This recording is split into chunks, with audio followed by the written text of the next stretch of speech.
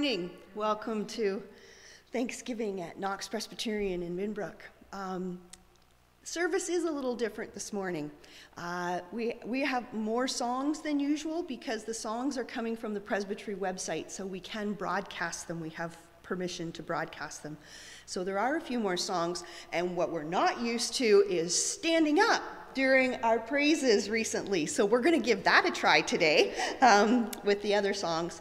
And uh, so just enjoy being here and worshiping and thanking God for this incredible day and weekend and just being able to gather together, um, spaced apart. Um, Pastor Nancy is on vacation, and we welcome Elena Haskell from the Raw Carrot uh, in Paris this morning. Also, to let you know that we're getting ready to have a um, Zoom Bible study in November. We feel that some people just aren't quite ready to come together again for, for Bible study, so we're going to have another one online. Uh, probably Wednesdays, but if that doesn't work for you, let us know and we'll see if the day changes or not. Um, Mountainside had a vacation Bible school here uh, the very end of August for three days, and they have sent a thank you along, uh, letting them use our, our, uh, our facilities for those three days. Um, this morning, we enter a time of worship with these words from Paul. Give thanks in all circumstances, for this is God's will for you in Christ Jesus. 1 Thessalonians 5:18. No matter what circumstances come our way, we have much for which to be thankful. As you prepare your hearts for worship this morning, praise the Lord for who he is and thank God for all his blessings. Let's gather in prayer. Heavenly Father, we thank you for today. We thank you for everyone that is here online or have joined us in person.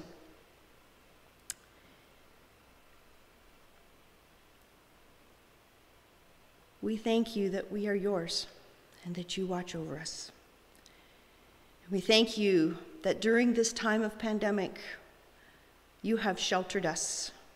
You have drawn us close and we have made the decision whether to do that, whether to join in or to stay at arm's length.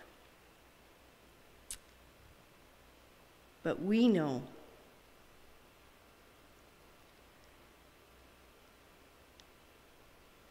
that this has been a time of growing, of searching. And we come out today in wonder, in joy, knowing that we are your children and you are our Heavenly Father. Come, let us worship together. Amen. Uh, we have somebody who's coming up to sing for our call to worship.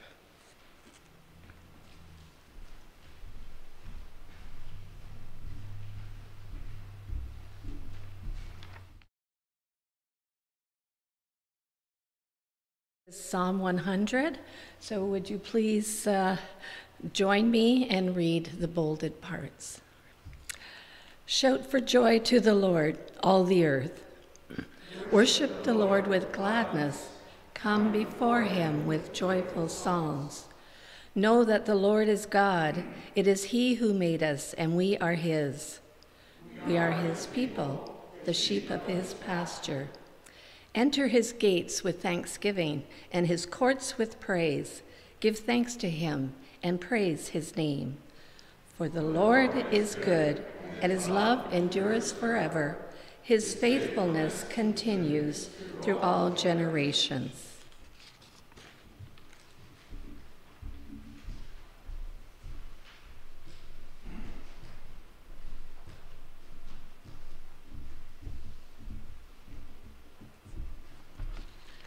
The message this morning is a testimony from the Israelites, Psalm 107, verses 1 to 22. Oh, thank God, He's so good.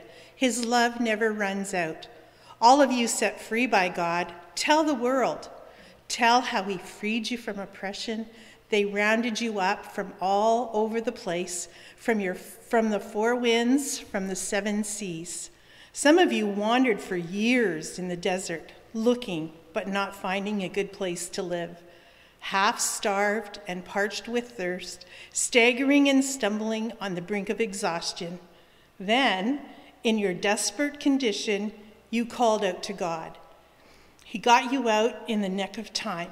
He put your feet on a wonderful road that took you straight to a good place to live. So thank God for his marvelous love, for his miracle of mercy to the children he loves. He poured great draughts of water down parched throats. The starved and the hungry got plenty to eat. Some of you were locked in a dark cell, cruelly confined behind bars, punished for defying God's word, for turning your back on the high God's counsel. A hard sentence, and your heart so heavy, and not a soul was in sight to help. Then you called out to God in your desperate condition. He got you out in the nick of time. He led you out of your dark, dark cell, broke open the jail, and led you out. So thank God for his marvelous love, for his miracle of mercy to the children he loves. He shattered the heavy jailhouse doors. He snapped the prison bars like matchsticks. Some of you were sick because you'd lived a bad life, your bodies feeling the effects of your sin. You couldn't stand the sight of food, so miserable you thought you'd be better off dead. Then you called out to God in your desperate condition. He got you out in the nick of time. He spoke the word that healed you, that pulled you back from the brink of death. So thank God for his marvelous love for his miracle of mercy to the children he loves. Offer thanksgiving sacrifices. Tell the world what he's done. Sing it out.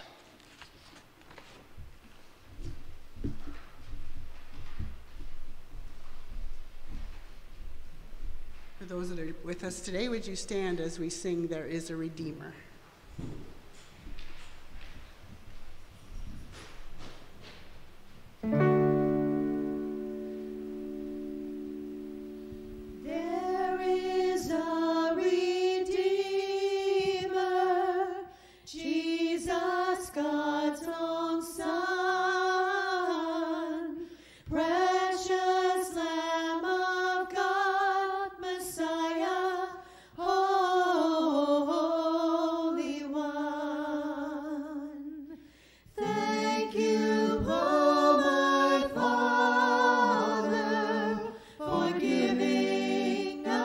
your son.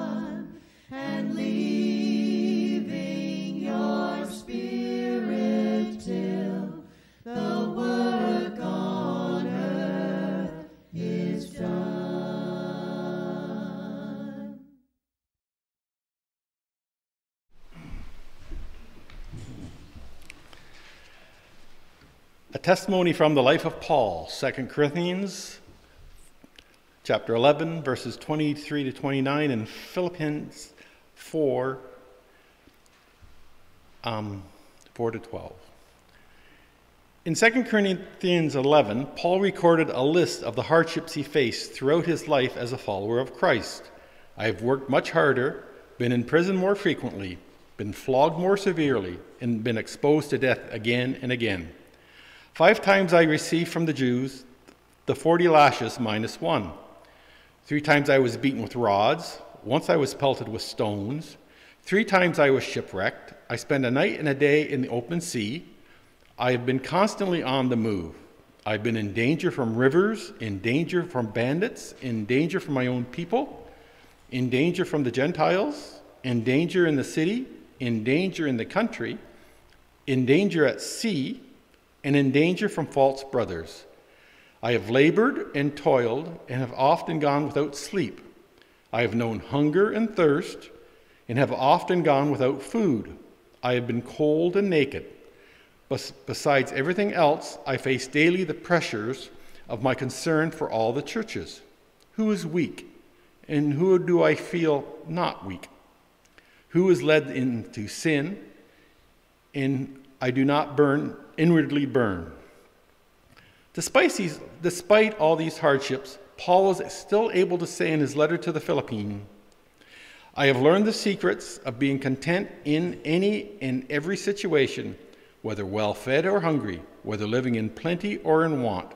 Paul rejoiced in the Lord even when he was in chains. God is greater than our weaknesses. God is faithful with all his promises in all life circumstances. God is to be forever praised.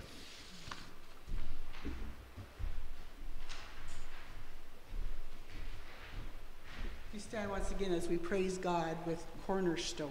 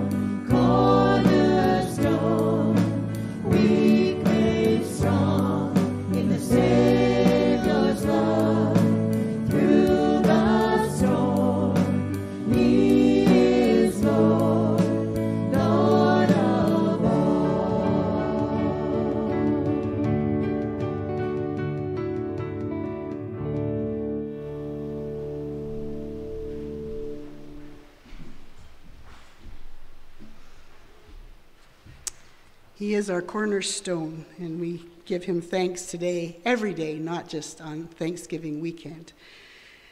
So I invite you now to just uh, shout out things that you are thankful for, things that strike your heart and um, give you joy when you know that God has provided for you. Those of you at home, you can think them and shout them out too. I'm sure we'll hear them through the Spirit.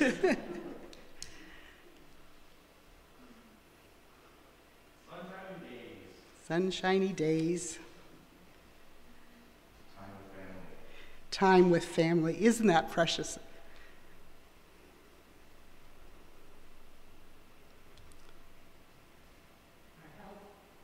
Health is such an important thing these days to enjoy the blessings of health and the blessings of healing too, that we can count on our Lord to fortify us and strengthen us. Anyone else? Education. Education. We need all we can get, don't we? We need that education to move forward, to learn more, to uh, advance the world, to learn more about keeping our uh, earth safe, uh, cleaning it up from pollution, uh, education to move forward in uh, the health fields, to get into all these crummy things that keep bugging us, like the pandemic and cancer and those things. So, yes, praise God for education and for those people that are the students of that education to forward that on. Anything else? Employment. Employment, yes. Em- I'm sorry? A sense of purpose. Yes, we all need purpose in life. We all need a goal. And we pray that God grants each one of us that goal and gives us insight to our path and where we should go.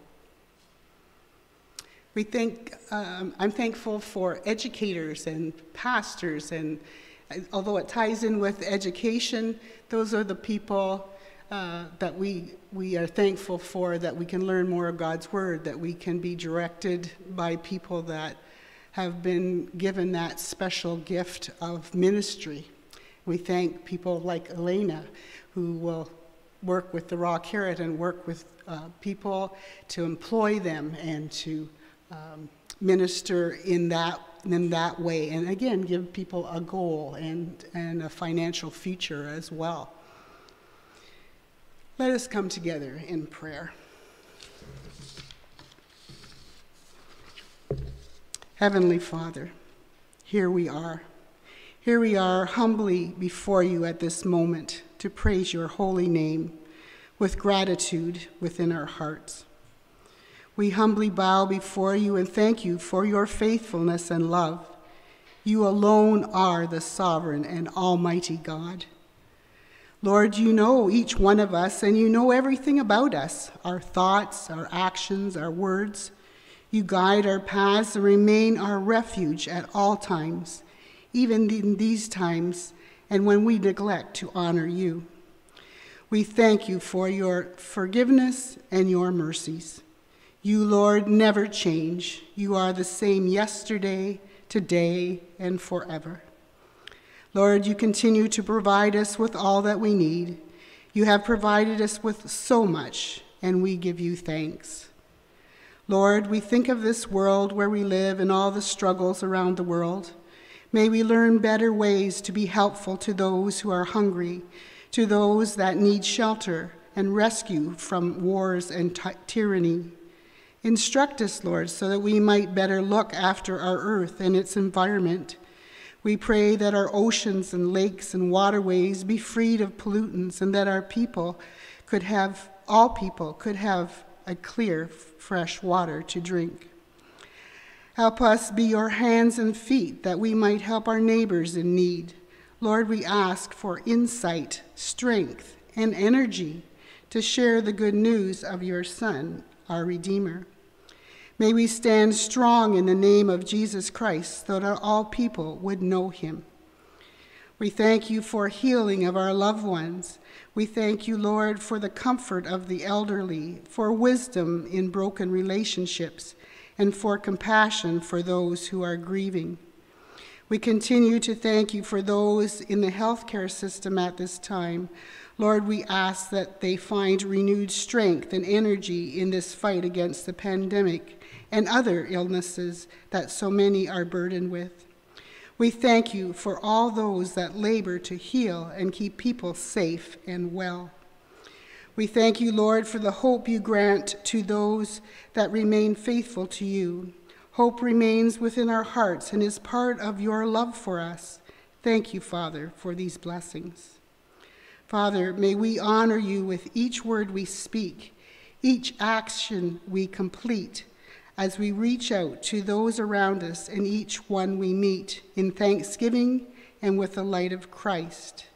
As Thessalonians says again, in everything give thanks for this is God's will for you in Jesus Christ.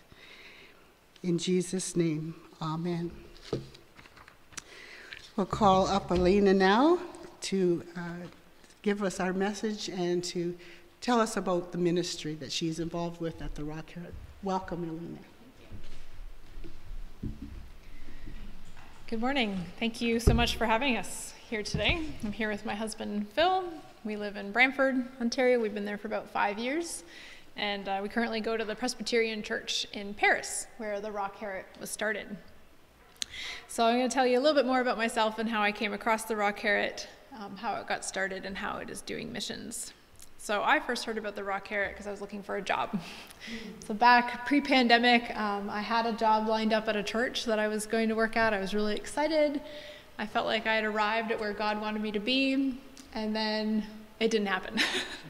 There's always various reasons, but um, it was really hard for me. And I kept looking and I was working on my contentment, as Paul talks about, um, about where I was. I was working part time at Starbucks and I just, I really felt like God had something more for me. But um, I then had to accept to stay and be faithful there. But lo and behold, God did have other things for me. I just had to be patient and trust Him. So I was still looking, and a friend sent me the raw carrot. And I applied and I started there in February. So, in the middle of the pandemic, I started working at the Raw Carrot and I've been there since then. Um, so, missions. Um, I was talking to Nancy and she mentioned something about talking about missions today, so I'm kind of tying that into my talk. Um, I don't know about you, but when I was growing up, when I heard people talk about missions or a mission, I often thought about overseas, right? Um, the third world, feeding hungry children in Africa. So that was kind of what I thought missions was. And partly my parents did that. They were overseas. They were in Africa before they were married, and then they lived in Bangladesh. And we were in India um, as a family by the time when I was five to when I was eight. Um, and I did missions. I went to Mexico as a teenager, and I spent summers in Northern Ontario working with First Nation people on the reserves up there. But here I am today talking about a different sort of mission here in southern Ontario. So I think this is how I do this. There we go. Okay, so this is Rebecca and Colleen. Um, and this is a verse that meant a lot to them as they were, you know, struggling with starting the Raw Carrot and asking God, what does He actually require of us? And um, so in Micah 6 8, it says, What does the Lord require or ask of you? to act justly, to love mercy, and to walk humbly with our God. So Rebecca's in the red there, and she is a go getter, passionate, lover of Jesus and issues of social justice. She likes to partner with marginalized people. She has a degree in international development, and she also spent five years doing mission work in Africa with the Presbyterian Church of Canada. She's married and has three children. And then Colleen is her, she says her partner in crime. Colleen can handle multi multi-million dollar budget, something that I can't even say, and Rebecca and I definitely can't handle without her. So she has a nursing degree, and she's back to nursing since the pandemic started. But she's we still get her one day a week to help handle our small budget. we couldn't do without her. Um, and she works at a cancer site um, center in the Kitchener area. She's married and she has four children. And I have a quote from Colleen. She believes that the best way to build up an individual is to improve the community which they live. Um, so I'm just going to share here now a short video about them explaining a little bit more. This was taken a couple years ago, so things have changed a little bit, but We believe that a hand up is way more awesome than a handout. For five years, we sat in the pews at church and watched a teenage girl named Amanda grow up. Because of her disability, she was marginalized, living in poverty, and dependent on ongoing handouts. But we saw her potential. We saw someone who deserved the dignity of work. Amanda could thrive if given the right opportunity. Do you know that there are almost a million people in Ontario alone, like Amanda, living with a disability or mental illness? Many who want to and can work. That's why we decided to get out of the pew and do something. Over a cup of coffee, God ignited a passion in our hearts to give people the dignity of work in a simple but profound way cooking gourmet soup. In 2014, the Raw Carrot was born. I'm Rebecca. And I'm Colleen, and we are the co founders of the Raw Carrot Soup Enterprise. Our model is simple we use existing church kitchens, hire people on social assistance, and create tasty gourmet soup. In our first year, we hoped to sell $5,000 worth of soup. We sold $25,000 and quickly realized God had a bigger plan than we imagined. By 2016, other organizations had caught the vision and wanted to replicate. We now have 18 people employed at three sites.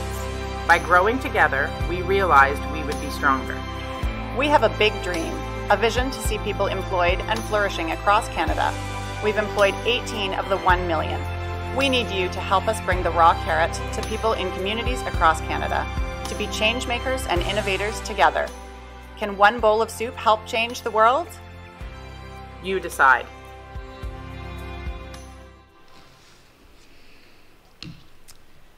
Wow, I almost feel like I don't need to say anything else, but I have more to tell you, so sit tight. Um, so, Rebecca and Colleen met Amanda um, 10 years ago. She was 13. She was friendly. She loved to play with the kids. She helped out in the nursery. She was reliable, punctual, um, but she did have a mild um, intellectual disability. And she had two parents who were already on Ontario Disability Support Program. Amanda can't read past a grade three level, and she has a general lack of confidence. She had no prospects after high school. Um, it seemed that her parents just wanted her to get diagnosed so she could go straight on social um, assistance. She did some employment training. Rebecca felt moved to drive her into Brantford every day, about a 20 minute drive, and get her some training and readiness skills and a resume. And then she did have some interviews, but no job. And they really felt, weren't sure what else they could do. Um, but they kept having conversations, realistic conversations about what they could actually do to help Amanda. Um, if they couldn't find her a job, they decided, let's try to create her one. So, and they knew that there wasn't just Amanda. Um, as you said, there's one million people living in poverty, right? Um, and they saw other people right there in the church that also struggled um, on social assistance, that was reaching into the benevolent fund time and time again because they just couldn't make ends meet, because you really don't have enough to live on social assistance. But they did want to work, some of them, and they just couldn't find jobs. Um, so it was out of this frustration that the soup the raw, I keep saying the soup, the raw carrot soup enterprise was born. Um, and the vision was to create meaningful work for individuals, as they said, who want to work and can work. Um, and it's simple, like Colleen said in the video. We use donated spaces, so we're in the kitchen um, of, of churches at this point. Um, we hire those who are already on Ontario Disability Services, and they prepare, cook, and package gourmet and delicious soup and we sell in our communities. I don't know if we've made it as far as Binbrook, but we are in Ancaster and Hamilton and lots of other areas. You can check us out online. And then that money from the soup goes directly to pay the staff and to train new ones. So um, the way we keep going and the way that we're growing is through donations and grants, um, but that money does go right back into the staff. Uh, we're now in our seventh year and we have 29 part-time staff. And this last year we sold over $100,000 worth of soup um, which, yeah, really blew us away, especially during the pandemic. We weren't sure what would happen to us, um, but we are essential. So our staff who are on Ontario Disability Services got called essential, and they came back and continued to cook. And we pivoted online, and we started selling our soup online, and uh, we did okay.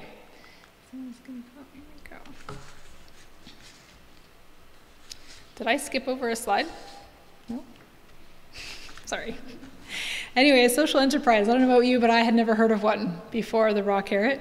Um, but basically, it has. Yeah, I did go over a slide, didn't I? Oh, here we go. Sorry about that.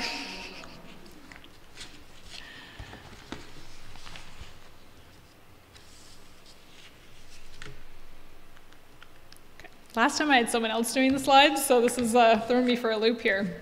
Okay, we are on this slide. We're organized now. Sorry about that.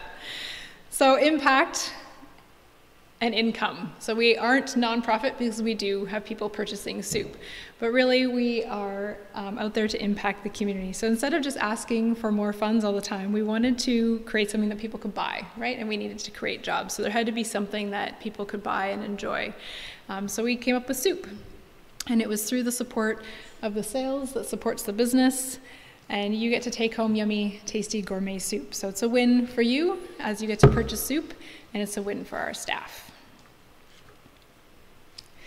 So here's a picture of some of our soup, but the soup um, isn't really the goal. Really, the soup is just um, the vehicle to the goal. People are our goal, providing people with meaningful um, employment and dignity and participation in their community. It means the increased food and livelihood security. Really, on Ontario Disability Services, you can't pay for rent and healthy food um, in Southern Ontario. It's just not enough money. And we believe that we've been called to this ministry to fulfill the biblical mandate to assist the poor and oppressed in the community. With more than just a handout, we wanted to provide a hand up. In Isaiah 1:17, it says, "Learn to do sorry, learn to do right, seek justice, defend the oppressed, take up the cause of the fatherless, and plead the case of the widow.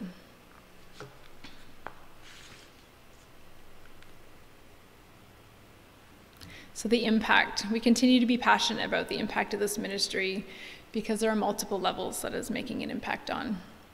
Our staff often told us that the money for working is nice, but one of the greatest impacts is having a job and being part of something having a place to belong and to engage in meaningful work. So here's some more of our staff. This is Paul trying to eat the asparagus. But don't worry, we do wear our masks. These shots were all taken pre COVID. They now don't get to all chop together, they all have to be sort of spread out in the bottom of the church. But they do still like to come together, and Paul still tries to make everybody laugh. Um, so we've had three staff transition on to other work due to their success at the Raw Carrot. Eight have continued to be employed over the long term, and they've brought themselves out of poverty. Staff receive an average of 20% more income a month and report a better quality of life due to the social engagement and the dignity of work. So, next, I have another video with you. This one I watched just after I started back in February. And I was excited to be brought on and be part of this mission, but it wasn't until I really heard from the staff, because I'm up in the headquarters, I do administration, I reply to emails. But when I heard from the staff and when I go down and visit them, I'm reminded why we do this work. So this is Lori. Oh, do I?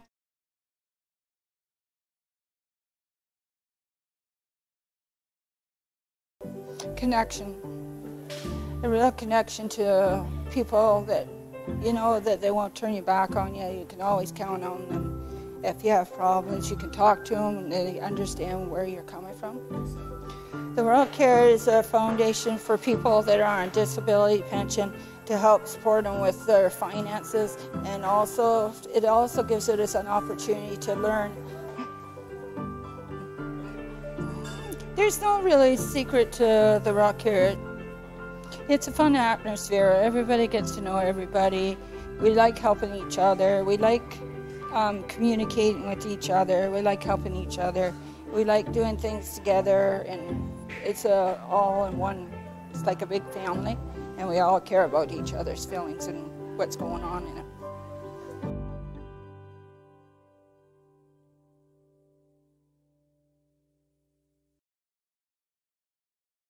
hanging out together. We drove up to Mount Forest for a training and we were in the car.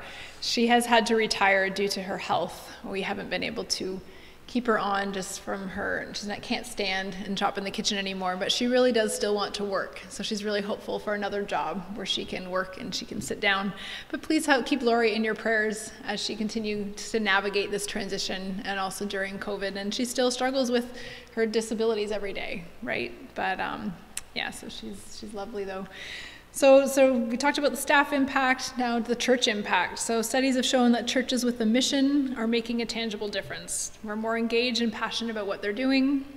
We are filling the church.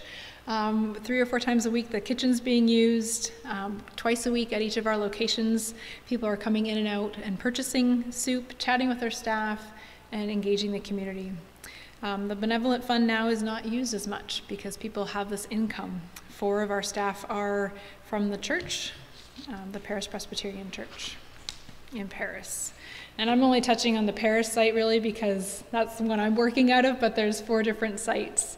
Um, we'll get to that point in a second. So the community impact, as I mentioned before, the community now can come into the church and buy their soup.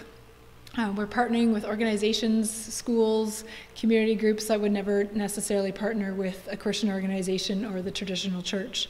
Um, and the retails, we're in too many retailers to even mention because again each site is located in different areas and all those retailers have heard the raw carrot story and we always talk about being focused on jesus.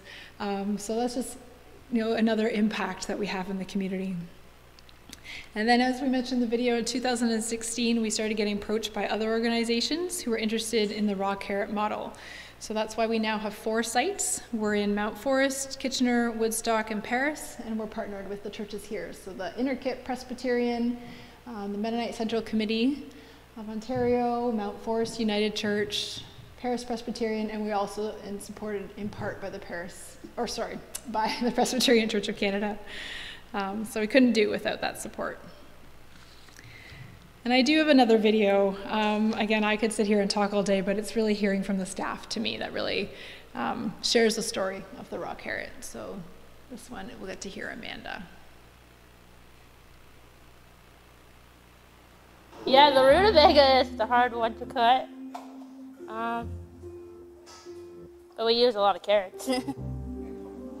yes, coming to work, um, it makes me happy because I get to hang out with people I like, and gives me something to do instead of being bored.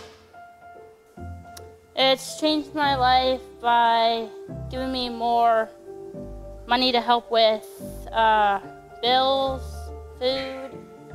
I have pets, I spend it on my dogs, I spend it on groceries for food to eat, and sometimes my mom. this is the type of job I like to do besides working with kids. Some days we have to put on a happy face if we're not too happy because of our little what else is going on in our life. But other than that, it's pretty happy in there.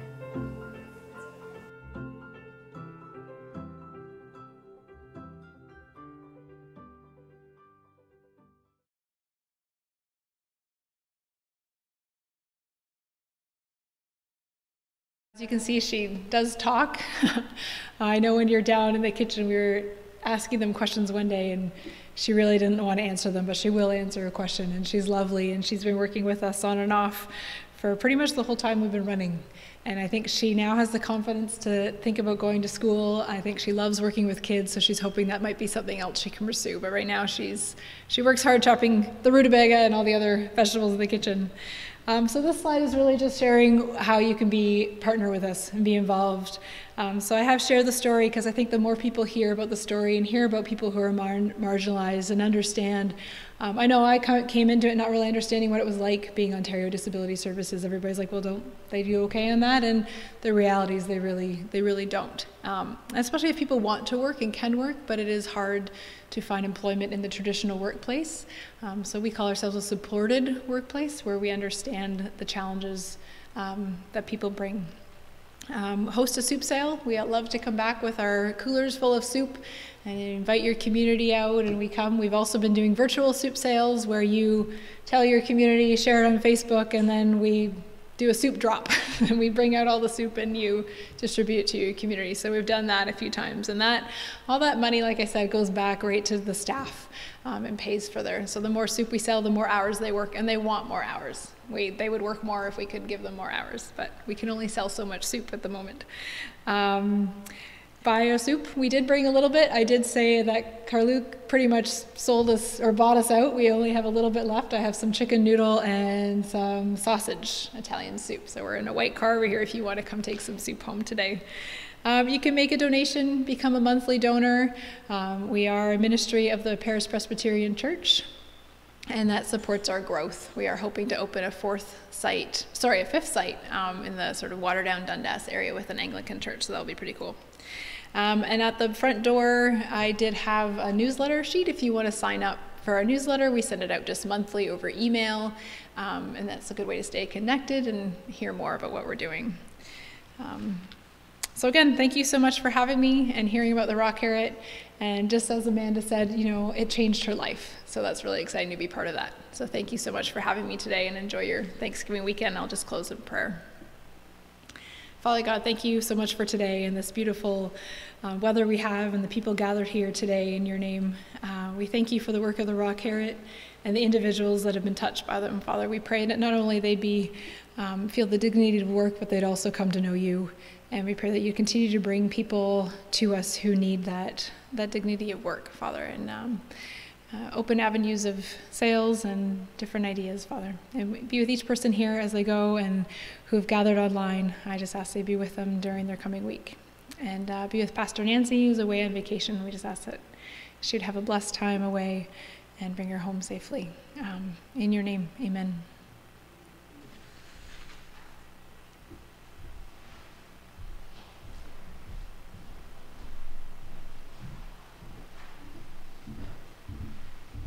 So if we could just stand as uh, we close for benediction.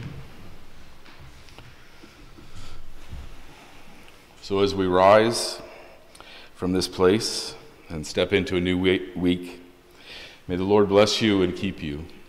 May his face shine upon you. May he be gracious to you. May his face turn toward you, and may you know his peace. Amen.